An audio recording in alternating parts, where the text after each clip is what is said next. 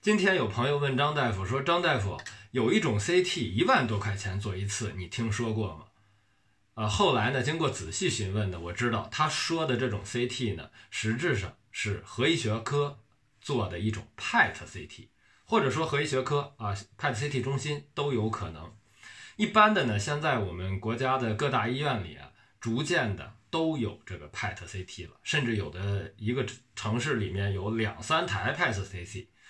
实质上来说，这个好多朋友都问说这个 PET CT 啊，呃，到底是怎么回事儿？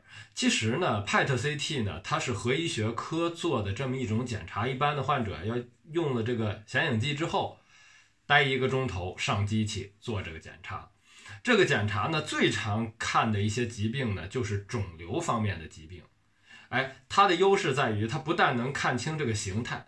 还能看清这个代谢，因为一般恶性肿瘤代谢比较旺盛，所以说呢，它通过形态和这种代谢的综合分析呢，可以拿到更多的信息。一般来说，现在的用处，你像对于这个肿瘤的分期，或者说明确是良性还是恶性肿瘤的分期，以及治疗之后的效果的评价、再分期等等，它呢都能用得上。所以说呢。现在这个 PET CT，好多人一提啊，就都是跟肿瘤结合到一起，说是不是？哎呀，这个要查肿瘤啊。实质上，PET CT 也不光用于肿瘤，像这个免疫方面的疾病，包括甚至心脏科的一些疾病，都有可能用到 PET CT。这个咱们说完这么多呀，但是最后张大夫也得嘱咐大家几点：第一个，PET CT 的确是比较贵的啊，这个。无论是咱们国家哪个医院，这个 PET CT，甚至有些高端体检中心都有 PET CT，并不便宜。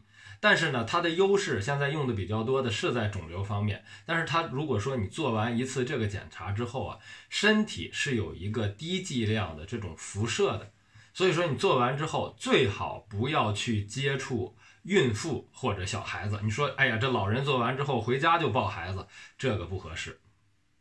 希望大家呢，通过张大夫的介绍，大概的能了解哦。现在有一种核医学科做的 PET CT 啊，这个的确是比较贵。它呢，这些个相应的作用和普通的以前这个 CT 只看看形态来说呢，它又进一步的能够看一看代谢的情况，尤其是对于分辨肿瘤的相关情况有其优势。只要您能知道这些，咱们这个科普啊就起到作用了。